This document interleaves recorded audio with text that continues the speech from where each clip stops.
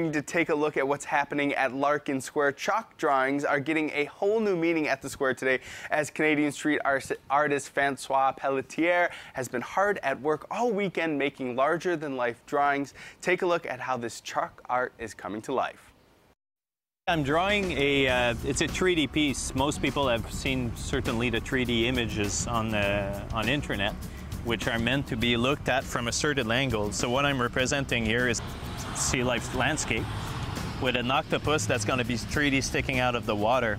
And um, there's a bridge going on, so people will be able to interact with the piece by standing on the bridge, and it's, it's going to look like they're uh, in close contact with an octopus sticking out of the water. These types of anamorphical paintings are meant to be looked at from a specific spot, a specific angle, in order to have the effect of anamorphism, which allows the, um, the picture to come out in a 3D way. And it's really awesome when you look at it from the right spot. If you look at it from any other angle, it just looks flat. When, when you look at it from a, a spot that I've marked behind, it comes out as 3D. We're looking for people to interact with that piece, to come and stand on the bridge and uh, take a picture with it.